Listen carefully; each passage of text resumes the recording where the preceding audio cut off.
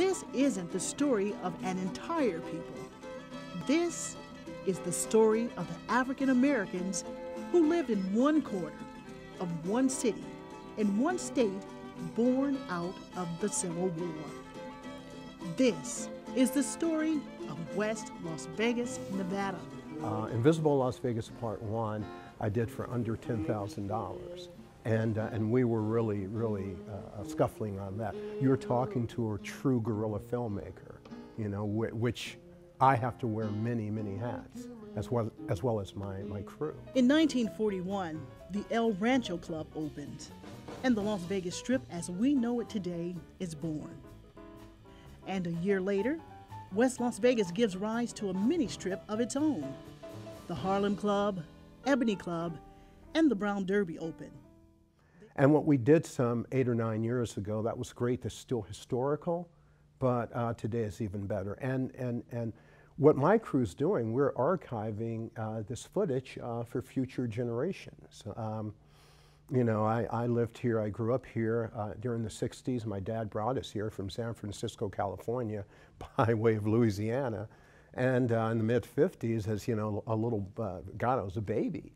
And uh, I've seen so much. I mean, from a, from a Jim Crow Las Vegas to a great diverse Las Vegas. I want to be a part of upgrading the community that produced me. And in Invisible Las Vegas 2, we do talk about Ruby Duncan and her storming Caesar's Palace and the things that she had to do to fight for equal and civil rights. Also, uh, uh, Lucy Flores, who represents a district in North Las Vegas. And we are talking about the fast growing Latino community in, uh, in West Las Vegas.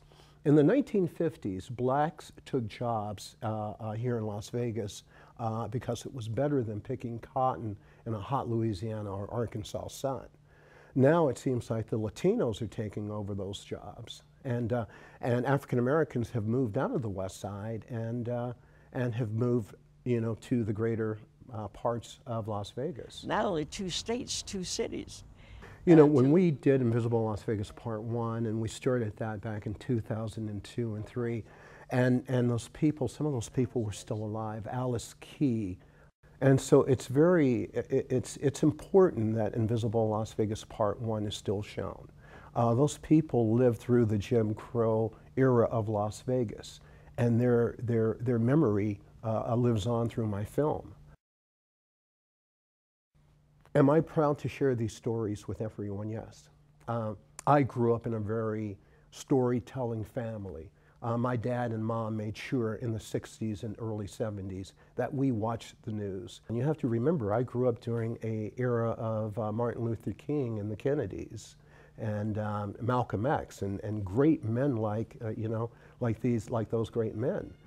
You know, uh, growing up in the 60s and 70s, yes, we had a sense of community. We didn't have the information age like we do today. And uh, in West Las Vegas, once again, yes, it was a sense of community, a, a sense of real pride that we still have today over there, but um, once again, with integration, uh, we've lost that.